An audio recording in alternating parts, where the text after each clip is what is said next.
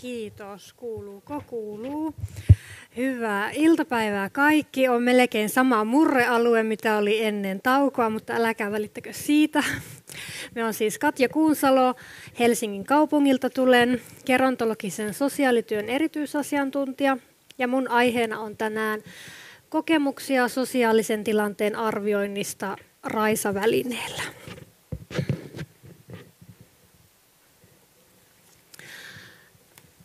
Tässä näkyy nämä, kuuluuko tämä oikeasti hyvin, minusta tämä jotenkin hankalasti tällä hiustalla. Kuuluisiko nyt?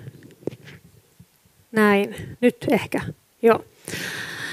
Öö, tässä näkyy RAI-arviointivälineet, mitä on Helsingin kaupungilla käytössä. Vuonna 2000 ollaan aloitettu laitoshoidon raista, sitten on tullut kotihoidon rai, lisäosioita, Listan viimeisenä on Right Saa vammaistyössä. Se on pienimuotoisesti käytössä Viikin palveluasumisryhmässä. Ja tuolla toi tummennettu alleviivattu on Interraisa plus Helsa, eli lempinimeltään Raisa, josta tänään kerron, eli keskitetyn palvelutarpeen arviointiväline. Ja se on otettu käyttöön 2018 noin vuoden alusta silloin suurin piirtein. Aloitettiin koulutukset. Ja itse asiassa ennen kuin tämä Raisa tuli meille virallisesti, niin meillä oli useamman vuoden ajan tällainen hanke THLn edeltäjän kanssa sosiaaliporras RAI-nimellä, jossa vähän kehiteltiin sitä, että miten ikäihmisten sosiaalisia tilanteita voitaisiin RAI-arviointivälineen avulla arvioida. Ja sitten saatiin tämä Raisa. Ja Raisa koostuu kuudesta eri osiosta. Onko tämä ok? A-osio on henkilötiedot, B alustava kartoitus ja tämä A ja B-osio muodostaa yhdessä tällaisen seulan, jonka perusteella katsotaan, että onko tarvetta jatkaa. Ajatuksena, että A ja B-osio tehtäisiin nyt kaikille asiakasohjauksen asiakkaille.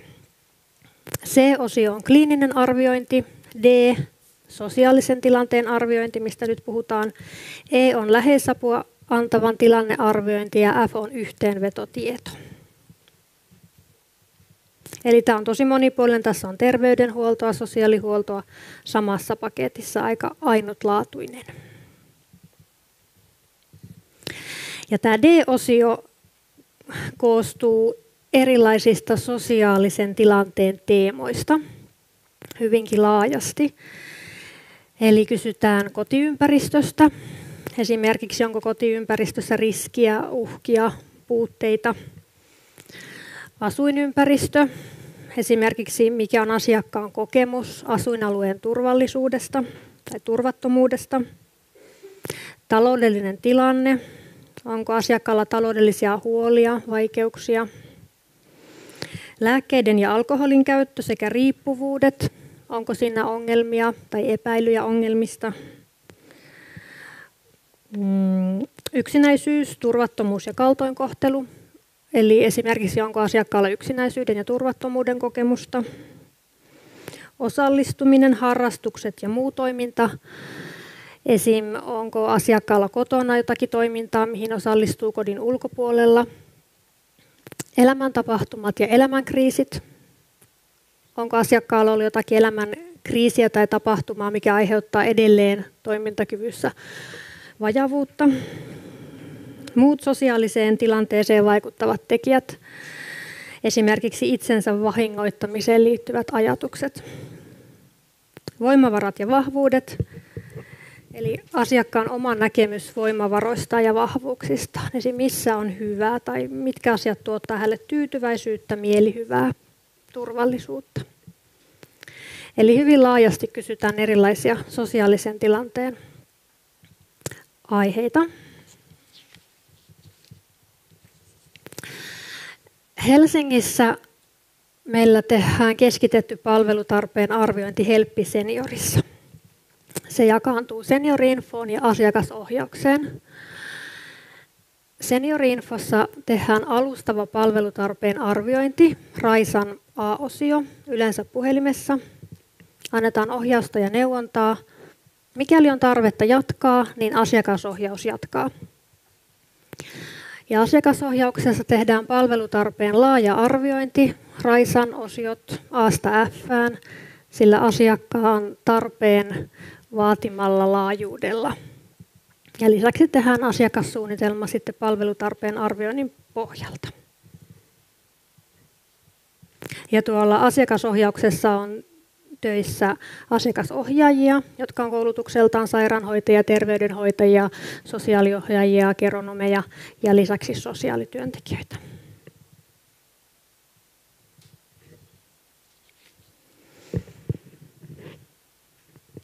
Tänä vuonna meillä on tehty D-osioita reilut 800. Ja otin sitten jokaisesta D-osion teemasta yhden esimerkin tähän. Nämä prosenttiosuudet on laskettu niistä, kelle on tehty D-osio. Ja ollaan sitäkin kyllä mietitty, että voisiko ne prosenttiosuudet laskea niistä, kelle on ylipäätänsä tehty raisa, vaikka ei olisi tehtykään D-osiota. Eli toimisiko A- ja B-osion seula niin hyvin, että jos niistä käy ilmi, että ei ole tarvetta jatkaa, niin voitaisiin jo päätellä, että okei, kotiympäristössä ei ole riskiä, että voitaisiin laskea se prosenttiosuus kaikista niistä. Mutta tämä nyt on vain tällaista pohdintaa, ja nämä prosenttiosuudet on laskettu siis niistä, kelle on tehty D-osio. Ja kolmasosalla on kotiympäristössä riski, uhka tai puute. Toi kysymys on laaja. Siinä on semmoisia pienempiä asioita, vaikka että palovarotin ei toimi, se on helposti korjattavissa. Ja sitten on toisessa päässä vaikka, että asunto on asuinkelvoton. Siinä on hyvin niin kuin laajalla skaalalla niitä puutteita. Sitten esimerkiksi vaikka yhdellä neljäsosalla on yksinäisyyden kokemusta, mutta myös yhdellä neljäsosalla on harrastuksia ja toimintaa kodin ulkopuolella. Voimavaroja ja vahvuuksia, niin 84 prosenttia tunnistaa jonkun voimavaran tai vahvuuden. Satu Vihersaari-Virtanen teki meillä ensimmäisestä vuosipuolikkaasta samanlaiset tilastokoonnit ja nämä oli ihan samassa linjassa. Eli ei ollut mitään hyppäyksiä asiakaskunnassa. Tällaisia meidän asiakkaat sitten on.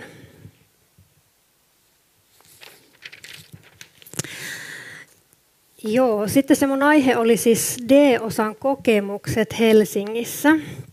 Niin Raisa herättää meillä tunteita. Se on erilaista, mitä on tehty aikaisemmin. Siihen ei ole totuttu. Ja tähän Tähän jokaisella on oma mielipide kyllä tästä Raisasta. Minä jaoin karkeasti nämä vastustajiin ja puolustajiin ja vastustajat ja puolustajat myös kahteen luokkaan.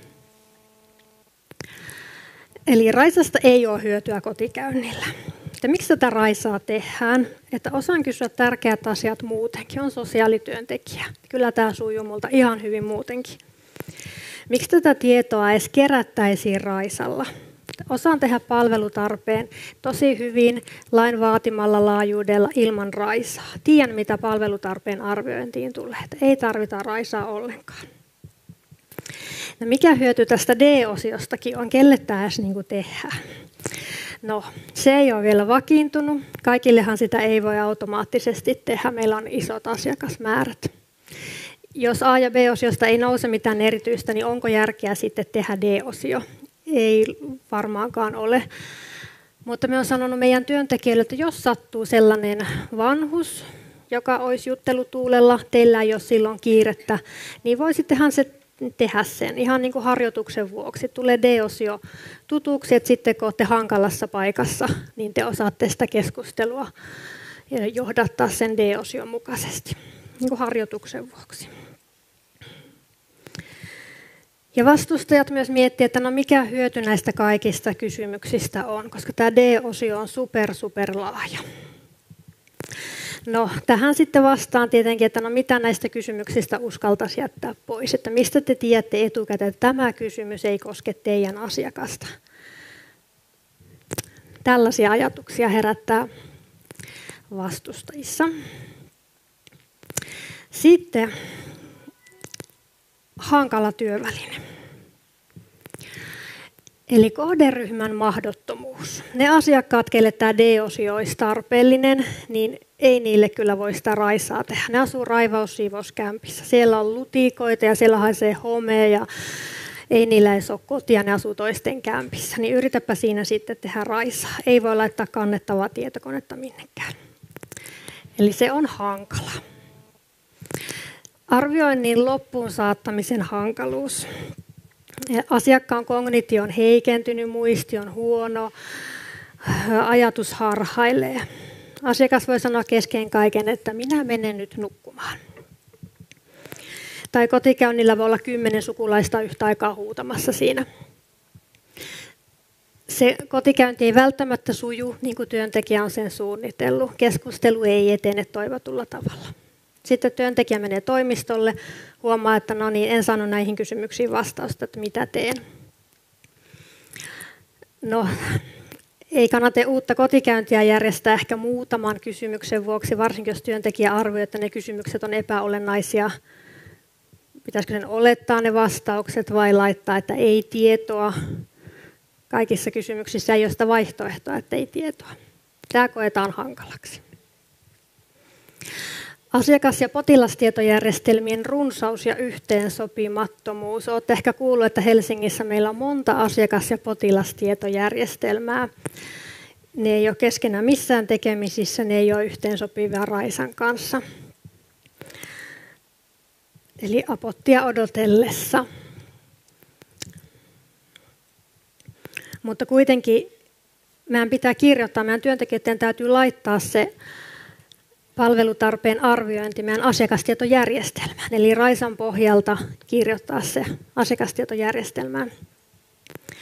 Niin sittenhän siinä käy niin, että jotkut työntekijät ottaa kannettavan mukaan ne avaa sen asiakastietojärjestelmän, siellä on otsikkotasolla teemat, mitä palvelutarpeen arviointiin kuuluu, ja ne kirjoittaa sen kotikäynnillä suoraan siihen. No sitten jää Raisa tekemättä. Eli hankala. Vastustajien mielestä Raisassa on toistoa, samoja asioita, teknisesti hankala. Kysymykset menee lineaarisesti, niissä voi kyllä hyppiä, voi mennä eteen ja taakse, mutta se ei mene syvyyssuunnassa. Nyt kun tulee asiakkaan kanssa puhetta päihteistä, niin se ei kasaa kaikkia päihdekysymyksiä näin syvästi siihen. Eli se koetaan hankalaksi. Ja on hankalaa, kun Raisa kysyy asioita, mitkä ei liity asiaan. Ja onhan se hankalaa, kun käydään niin henkilökohtaisia asioita läpi.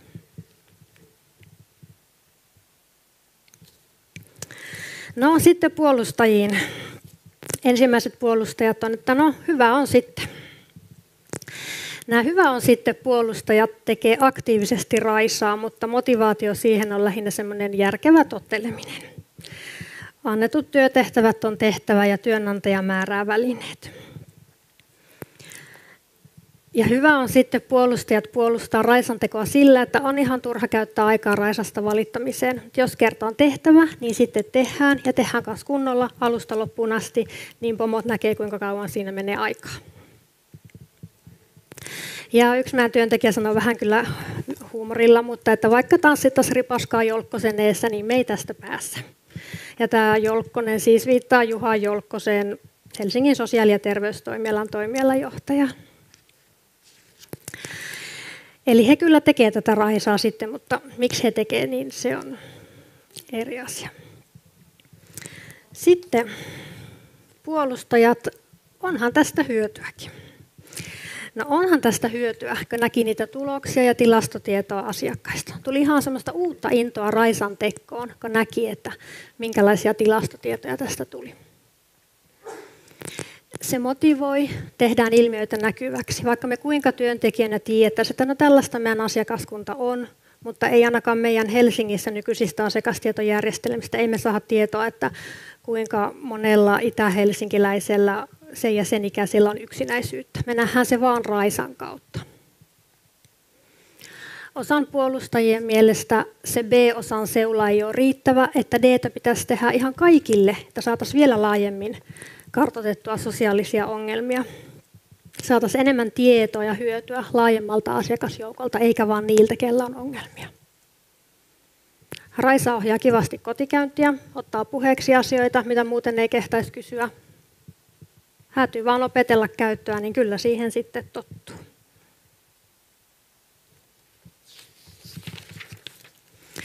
Helsingissä Helppiseniorissa työntekijät, ketkä on terveydenhuoltotaustaisia, ne otti tosi helposti Raisan käyttöön. Hän on ollut ehkä kotihoidossa, laitoshoidon rai voi olla tuttu.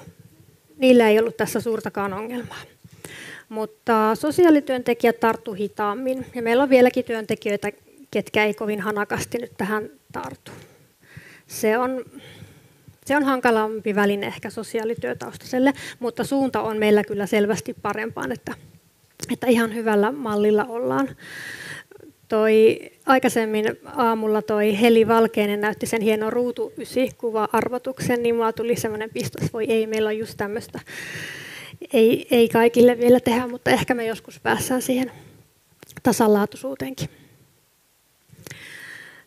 Liisa Klemola tutkimuksessaan havaitsi, että terveydenhuollon, sosiaali- ja terveydenhuollon ammattilaiset ei nähnyt tiedon arvoa omassa työssä, vaan ne ajatteli, että sitä kerätään enemmän hallinnollista syistä. Että vaikka tietoa kerätään, niin sitä ei oteta hyödyntää. Ja meillähän näkyy tämä ihan selvästi, että ketkä Raisaa puolustaja tekee, niin monet heistä ajattelee, että sitä kerätään ehkä pomoja varten, johtajia varten, tilastointia varten. He ei näe sitä, että tästä olisi niin kuin minun omassa työssä just apua tai asiakas tästä hyötyisi. Että se ei olla, me ei olla vielä sillä tasolla.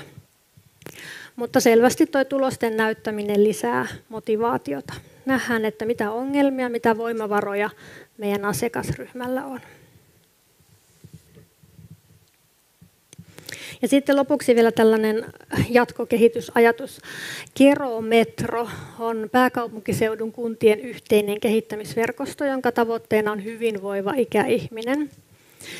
Siinä on yksi alatyöryhmä, mihin me on nyt kytkeytynyt ja se käsittelee aihetta yksinäisyys ja turvattomuus. Me ajateltiin suunnitella sellainen niin kuin ohje, että miten työntekijät voisivat käsitellä asiakkaan yksinäisyyttä, ohjata palveluihin. Etäpalvelua voisi myös hyödyntää siinä ja tulisi niin käytyä kaikki asiat läpi asiakkaan kanssa tasalaatuisesti. Ja tässä me voitaisiin hyödyntää Raisaa, koska D-osiossa kysytään sitä yksinäisyydestä. Niin Raisan avulla me saadaan nähdä niitä asiakasmääriä, kuinka monella on yksinäisyyttä, millä alueella ja mahdollisesti sitten myös muutoksia, että onko tästä hyötyä. Niin ehkä tällaiset myös sitten motivoi työntekijöitä tekemään ja tarttumaan tähän hanakammin. Kävin kotona näitä dioja läpi yhdessä meidän kahdeksanvuotiaan kanssa ja kysyin lopuksi, että ymmärsikö hän, että mikä se raisa on. Niin hän sanoi, että joo, se on semmoinen juttu, joka auttaa toisia tyyppejä. Ei mulla tämän kummempaa. Kiitos. Kiitoksia esityksestä. Sitten meillä on aikaa tässä kysymyksille taas hyvin ah, pidettiin. oli liian nopea. Aikataulu tässä näin, niin tota,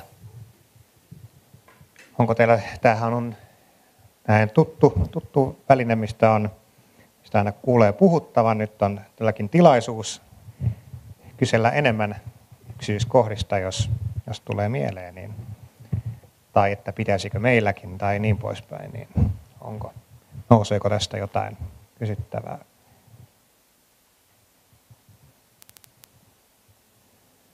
Ei ainakaan näytä, näytä äkkiseltä. Tietenkin voisi tässä niin itse kysyä sellaisen asian, että äh, aina se, että kun maailma on välineitä tulvillaan tavallaan, niin se kysymys, että miksi juuri tämä, siis se historian tavallaan, että kun mietitte, että miten sosiaalista tilanteita selvitetään, niin miten päädyttiin, että nyt se on sitten Raisa ja muuta, ja kun muualla ehkä käytetään toisia välineitä, teillä käytetään tätä, niin mikä oli tavallaan se, että nyt me otetaan tämä. Sehän on ihan helppo, koska eihän tällaista mittaria ole muualla, missä kysytään myös sosiaalisista tilanteista samassa, missä kysytään muistakin asioista. Että kertokaa, jos sellainen on, niin eihän sellaista tai ihan ainutlaatuinen. Ja Helsingille kiitokset ja THL kehittelystä. Niin, eli tarvetta on ja silloin otetaan välineet käyttöön. Toivottavasti sitten jatkossa kokemukset tästä sitten kasaantuu, niin huomataan, että muutkin huomaa, että kyllä sitä ihan hyötyä on. Että toivon mukaan menee sitten näin, että katsotaan, kehitys menee eteenpäin. Hei, täällä nousee sitten kysymys, että olisiko tuonne mikrofoni, jos tuo, tuohon suuntaan.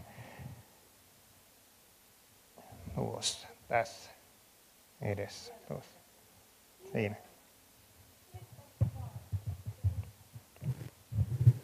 Ehkä ei kysymystä, mutta joku kommentti kuitenkin. Ja, ja tota, me ollaan Helsingin kaupungilla aika pitkään esimerkiksi kotihoidosta meillä on tullut sellaista tietoa, että me tarvitaan enemmän sosiaalityöntekijöitä, me tarvitaan tänne apua, me tarvitaan, niin kuin meillä on ihmisillä niin paljon semmoisia asioita, joihin tarvitaan apua.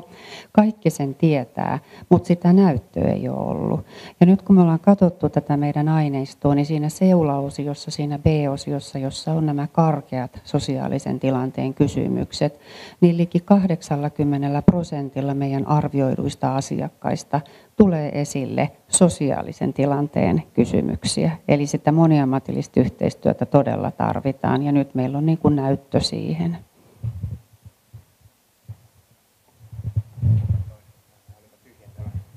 Tosi hienosti sanottu, tosi hyvä.